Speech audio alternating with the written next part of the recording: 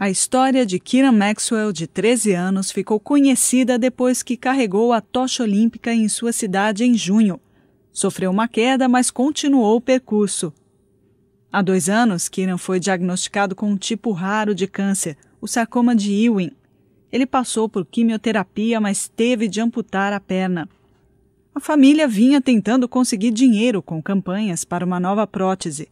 Mas Colin e Chris Ware, que ganharam mais de 160 milhões de libras na loteria europeia, decidiram dar uma nova prótese ao adolescente.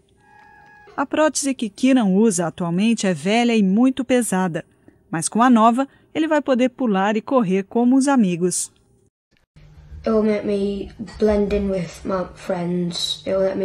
Vou poder ficar com os meus amigos, fazer coisas que eu não conseguia, qualquer coisa que eu quiser, conta o adolescente. A nova prótese deve ser colocada nas próximas semanas.